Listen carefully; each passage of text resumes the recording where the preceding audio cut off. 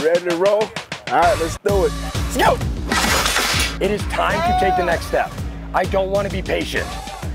I can't teach a back how to run the ball. I can teach a back where to run the ball. Sweet feet, oh, that's Jake Flynn. If you, if you see his routes, you see his releases, his feet are crazy, like they're, they're sweet.